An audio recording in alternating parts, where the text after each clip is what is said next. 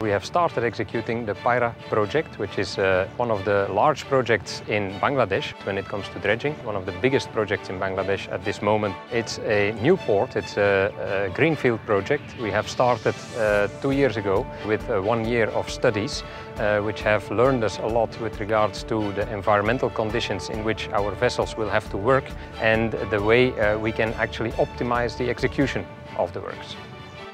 Patuakhali, the region in which the port is located, is actually a region which is underdeveloped economically. And the aim is to develop this region economically by establishing the port.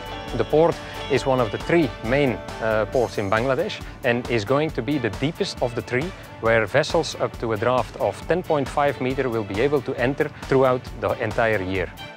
So besides creating the channel with our eight vessels currently present in Payra, we are also reclaiming sand on the reclamation area, which is going to be the future terminal area of the port.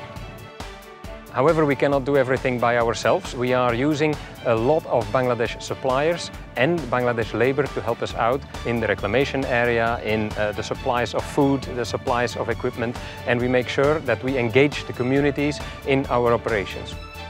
Besides the challenging conditions on the water, the remote conditions of the project site are not only a challenge for our equipment, but also for our personnel. Out of the 400 people we have on site, 50 people are located onshore. And with the remote conditions we are living in, we need a connected team to solve that issue.